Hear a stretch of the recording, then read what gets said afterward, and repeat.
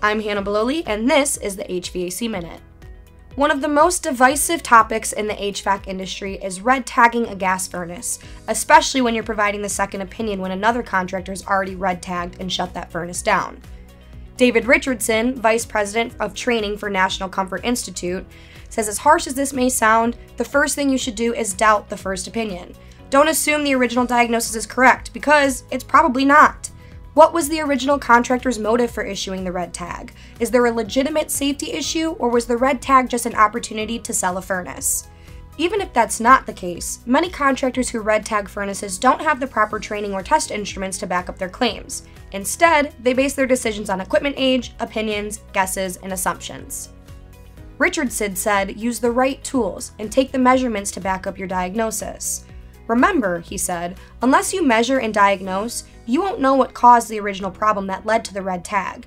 Heat exchangers fail for a reason. Unless you identify that reason, the replacement will probably also fail. Measurements are also a must if you decide to turn a red tagged furnace back on, because they prove safety in a way that a visual inspection just can't.